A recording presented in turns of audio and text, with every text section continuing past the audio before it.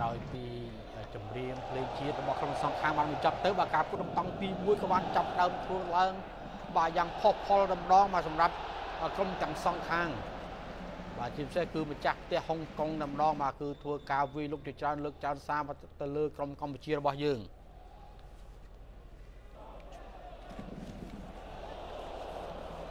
បាទត្រង់នេះគេវត្តមកជើងចោលបាទហើយបាល់ក៏ហើរឡើងទៅខាងលើ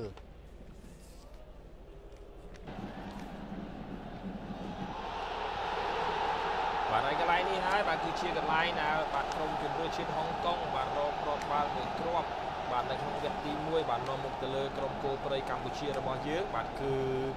បាទដោយការសុទ្ធរបស់ខ្សែប្រយុទ្ធបាទ Jam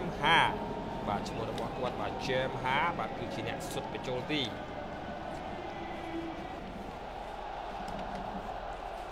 នេះគឺជាការលេងបាទតារាអាចថាជាការលេង plot ស្នេហ៍របស់កម្ពុជាបាទបាញ់មិញបាទគិតថាបាល់ចេញបាទឲ្យខ្សែបំរើប្រយុទ្ធបាទអាឡិចបាទគឺគាត់អស់មកក៏ បញ្ជូនមកខាងក្នុងហើយក៏ jam 5បាទក៏សុទ្ធបញ្ចូលទីបានយ៉ាងល្អតែម្ដងបាទដូច្នេះបាទមួយគ្រាប់បាទឲ្យក្រុមបាទជំរឿជាតិហុងកុងបាទនាំមុខទៅលើកម្ពុជាមួយទល់នឹង0នៅក្នុងវគ្គទី1នេះបាទនៅនាទីទី21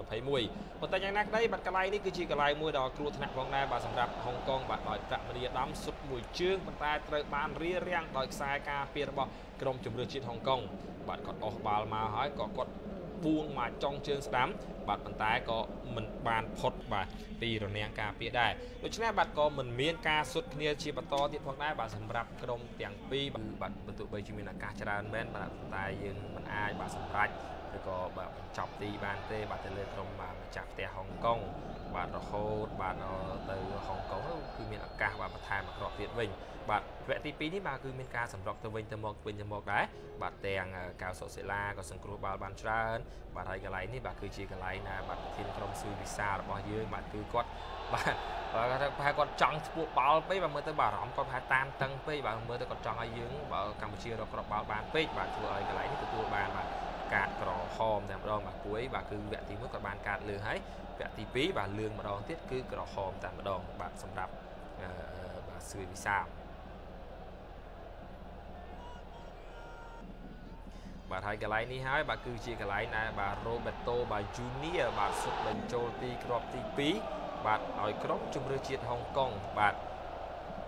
បាទនៅក្នុងវគ្គទី2បាទស្របពេលដែលកម្ពុជាបាទសល់គ្នាត្រឹមតែ10នាក់តែប៉ុណ្ណោះ បាទសុទ្ធកន្លែងនេះបាទខ្សែការពារដល់ទៅ3បាទបូករួមជាមួយអ្នកចាំទីមួយទៀតបាទគឺ4បាទគឺរៀបរៀងបាទ